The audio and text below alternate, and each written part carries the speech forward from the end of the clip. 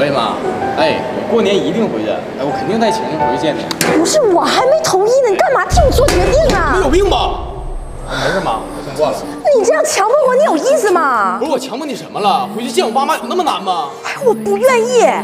你爱找谁回去找谁回去，我是不跟你回去。有人唯利是图，有人精打细算。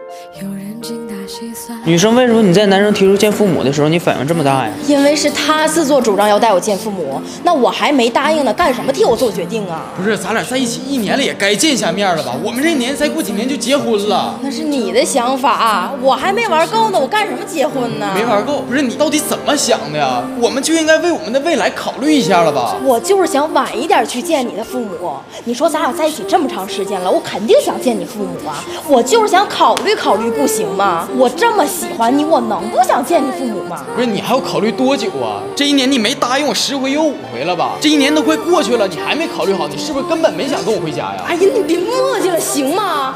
我想跟你回去，我就跟你回去；我不想跟你回去，你干什么强迫我？我对你哪里不好了？就在这事上这么费劲？我知道你爸爱喝酒，我花高价钱买的高档红酒，给你妈买的保健品，现在又开始推脱我了。你是不是不想跟我在一起了？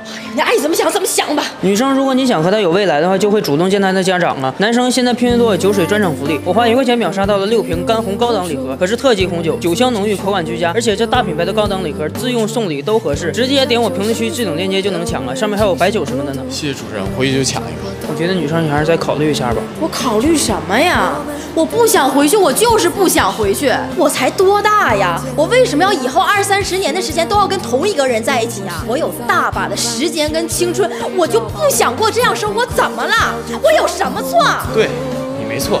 都是我错了，我从一开始就不应该抱有希望，我全心全意的对你，但你对我的态度让我觉得我从来就没走进过你内心。那都是你自我感动罢了，咱俩在一起开心快乐就行了，你干嘛非弄出那么多事儿呢？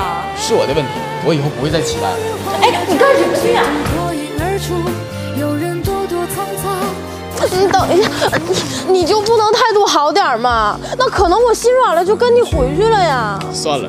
没有回应的热情也该适可而止，我也不想再带你回去。你什么意思呀？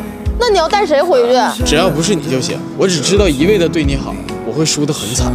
我们分手吧，我不值得。